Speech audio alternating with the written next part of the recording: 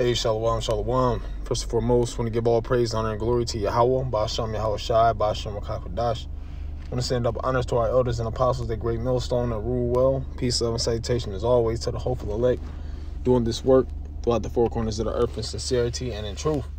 So I'm coming back once again with um, another lesson through the spirit and power Yahweh Ba'asham Yahweh Shai, or Chakadash, which is the Holy Spirit that enables us to teach this truth and to do this work and this is going to be impromptu you know um, just making my way into the plantation actually just pulled up to the plantation you know and just uh, meditating upon you know the different um,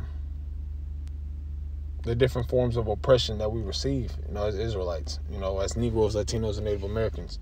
You know everything that we receive of course is um is self-inflicted man. When you go into the book of deuteronomy the 28th chapter you know there was a a clear cut distinction on what would happen to us if we followed Yahweh Shem Shai and if we didn't. You know, and as a stiff necked nation, we didn't follow the commandments of the Heavenly Father. And now now look at us to this day and age, man. We're under those same curses that Yahweh Shem Shai said will come upon us if we didn't obey his voice. All right. Now, on the flip side, you know, you have two thirds of our people you know, that are um and rightfully so, they're roused they're roused up behind the situation with the Jake that got killed up there in Minneapolis or murdered, more like by the um by Esau Edom, right? But this the scriptures and history have been telling us, you know, the nature of the so-called white man, Esau Edom. It's been telling us telling us this, man. You know, even though he walks about uh, speaking smooth words, it says in Psalms, yet were they drawing swords. You know, because Esau Edom could talk a good talk, man. You know, he could talk a good talk, he can walk a good walk. But we know the intent of his heart, you know, by way of the scriptures. It tells us that the conjutation will never be changed. You know, that wickedness have exceedingly um, blind, blinded them. Okay? They go not to sleep unless they cause some to fall. You know, uh, was it Ezekiel 25 and 12? They had vengeance against uh, Ju- uh, Jerusalem and Judah. You know, so these things are you, you playing to playing to the point. You should get tired. You should be tired of Babylon, man. If you're an Israelite, you should truly be tired, man. You don't have to be, you know, um, though it would be a beautiful thing for all of our people to come back to the Heavenly Father and to worship Yahweh Shemal Shai, uh, his, his name in truth and sincerity, everybody doesn't have to be under the banner of the um, of Great Millstone. You know, everybody doesn't have to be a um, as they call now a Bible thumper. You know what I'm saying? You don't have to be heavy into the the scriptures to understand that this ain't the place, man. This is not it. You know, the Spirit speak expressly and, and as an Israelite, nothing in this place resonate with our spirit, man.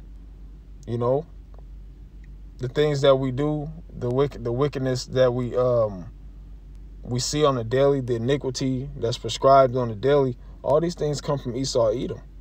You know, and our people, as well as as well as um as a, what we used to do when we were in the world, we used to follow these same customs. All right. This is Jeremiah 2 and verse 14. It says, Is Israel a servant? Is he a homeborn slave? Why is he spoiled?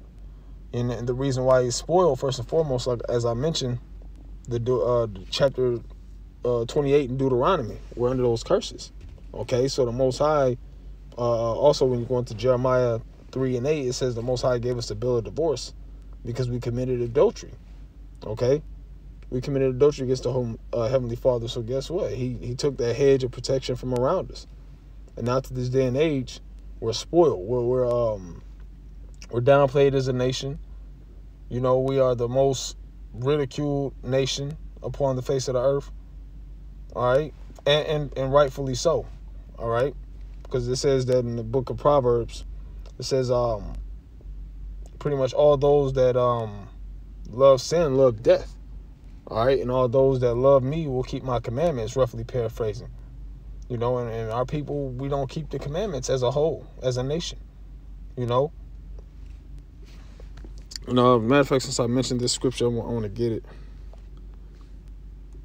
because it takes for it takes for a major situation um, from Esau Edom that he he does against Jake for the rest of the people to rise up.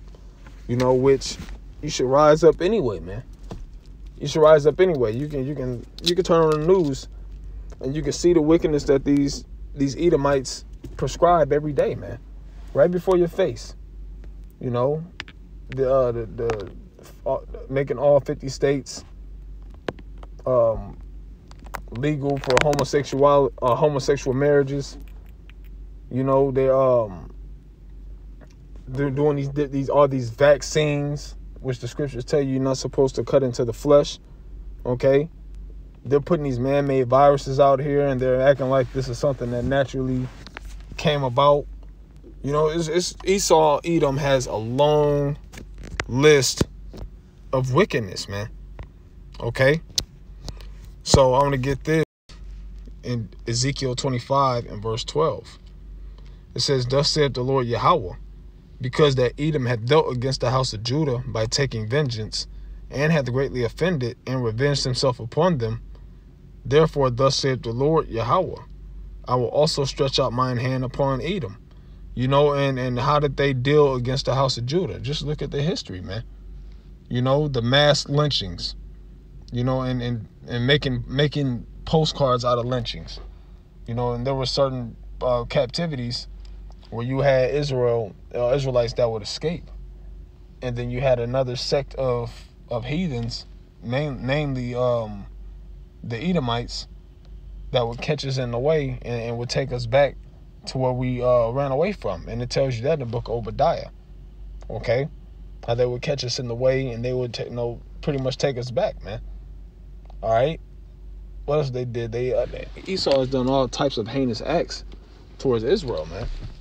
You know, man, mainly it's because he sold his birthright and he wants his birthright back, man. Through the spirit, Esau Edom knows that he's through, man. So he's doing everything in his power and has been doing everything in his power to get back at us, man. You know, the the very first account of murder was by who? Esau Edom. Okay. What what did it say in um once his father once um uh, uh, once Isaac died, man? You know what did he say? He said, "Well, I'm going to revenge myself upon my brother." You know, and and and surely enough, he's doing that into this day and age, man. You know.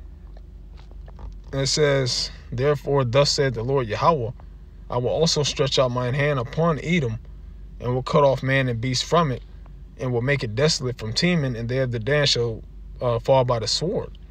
And I will lay my vengeance upon Edom by the hand of my people Israel. Okay, so this is going to be a physical thing that's going to happen whenever Yahweh Shai um, deems it deems it time to do so.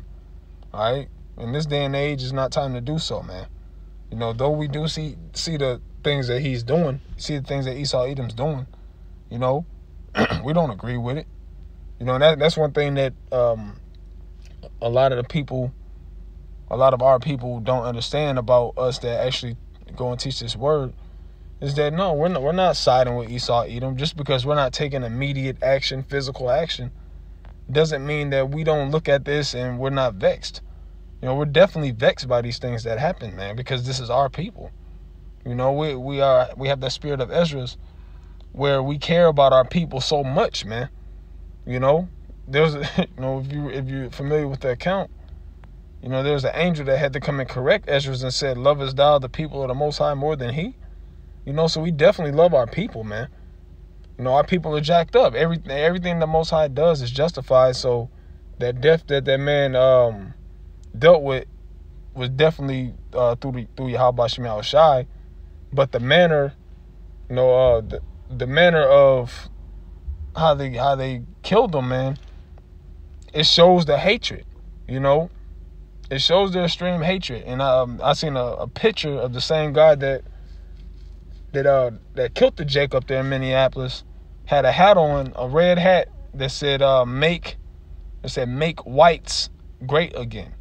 Okay, not make America great again, make whites great again. All right? And this is this is the this is the the nature of Esau Edom. You know, nothing's he's always been this way. You know, this is not some new thing. is just that they're they're truly showing their hatred, man. You know? And I will lay my vengeance upon Edom by the hand of my people Israel, and they shall do in Edom according to mine anger and according to my fury, and they shall know my vengeance, said the Lord Yahweh. All right, so we're waiting on our kingdom to get here, man. All right, as it says in the book of Second Ezra, the eighth chapter, it says that rest is allowed, plenteousness is made ready.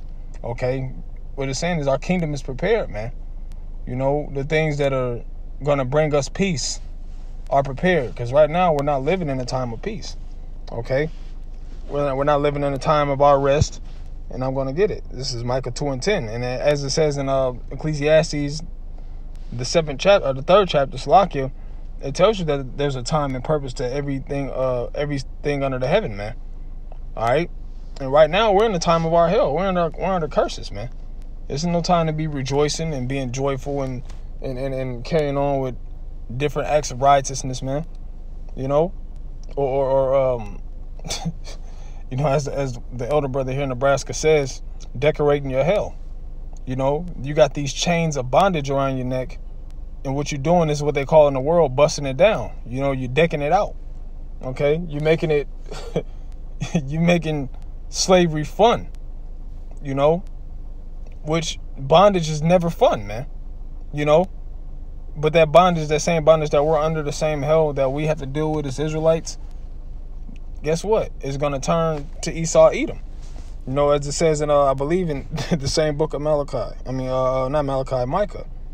All right? Uh, but I'm going, I'm going to get this first. This is Micah chapter 2 and verse 10.